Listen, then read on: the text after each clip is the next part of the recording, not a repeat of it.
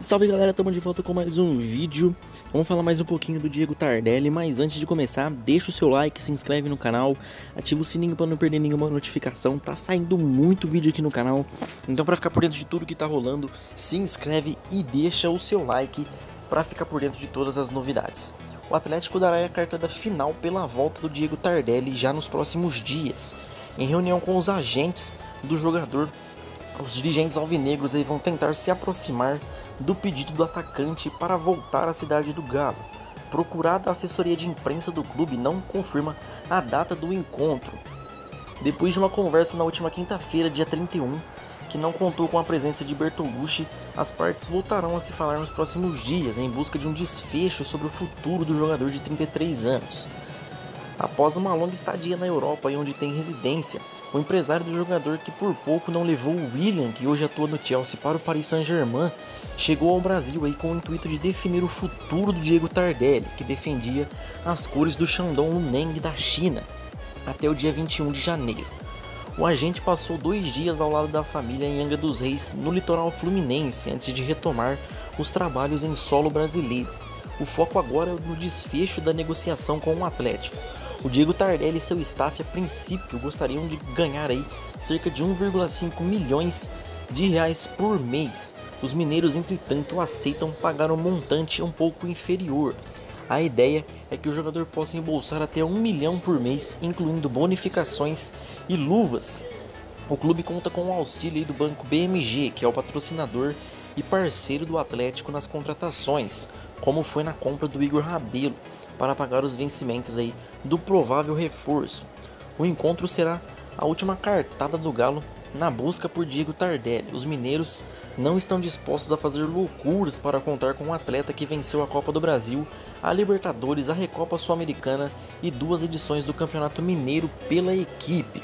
Então, o Atlético buscando aí trazer o Diego Tardelli de volta, né? A torcida tá pedindo muito o Diego Tardelli e também creio eu que a diretoria quer muito contar com o Tardelli para a temporada, né? Como eu já disse em outro vídeo que eu falei aqui do Diego Tardelli, para esse comecinho de Libertadores, eu acho que é um pouco impossível o Tardelli vir, até porque eu acho que não dá para inscrever mais ninguém nessa primeira fase da Libertadores, mas como eu disse, como eu vou trazer um outro vídeo para vocês aqui, na minha opinião, o time do Atlético é superior, muito superior, infinitamente superior ao time do Danúbio né? Em números é muito maior, é muito superior, né? Na lista, no papel também é muito superior.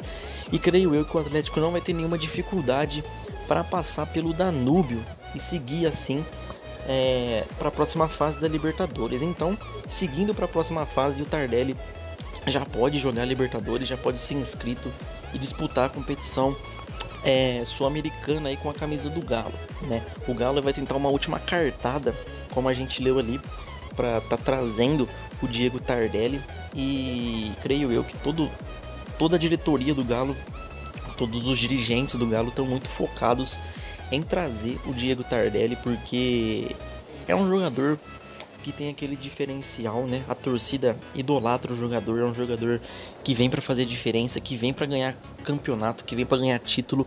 Já mostrou que é capaz de ganhar título com o Atlético na sua última passagem, então é um jogador que vem com uma bagagem um pouco maior, né? Então, creio eu que o Atlético vai fazer de tudo para que esse jogador chegue à cidade do Galo e o mais rápido possível, né? Agora nos próximos dias, creio eu que essa novela vai terminar aí, é, na minha opinião, com um desfecho positivo para a equipe do Galo, né?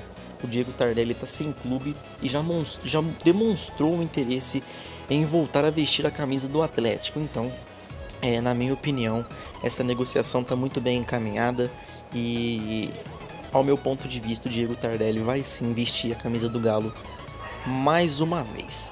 Então o vídeo vai encerrando por aqui. Mais informações sobre esse caso Diego Tardelli eu venho trazer para vocês no canal, vou manter vocês informados, beleza? Mas para isso eu preciso que vocês se inscrevam no canal e ativem o sininho para não perder nenhuma notificação. Já deixa o like no vídeo também, porque o YouTube não notifica se você não deixar o like. Então já deixa o like para o YouTube ver que você está acompanhando o canal e também para você ficar por dentro de todas as novidades do Diego Tardelli. O vídeo vai encerrando, espero que tenham curtido. Um grande abraço, fiquem